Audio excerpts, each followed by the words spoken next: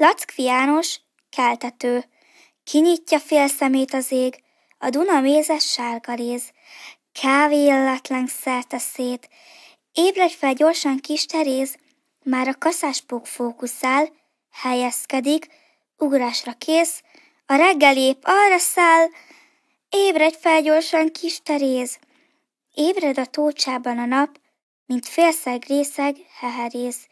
Kis fénytejet arcodba csap, ébredj fel gyorsan kis Teréz, a villamos tükre rezeg, vezetőnéni piperéz, utasokon izzó mezek, ébredj fel gyorsan kis Teréz, a széken kuksol a ruhád, mint lesben álló szingaléz, és mindjárt rád veti magát.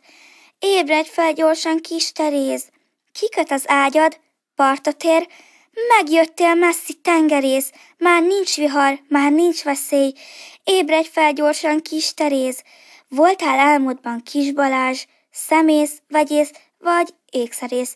Most lehetsz újra iskolás, ébredj fel gyorsan kis Teréz, okosabb leszel, mint apád, akkor is, ha ez nem nehéz, csurig tölt majd az ész. Na hát, ébredj fel gyorsan kis Teréz.